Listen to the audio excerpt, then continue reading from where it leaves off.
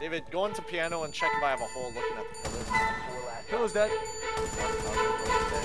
Nope. Nope. What? Yo, what the fuck did I hit?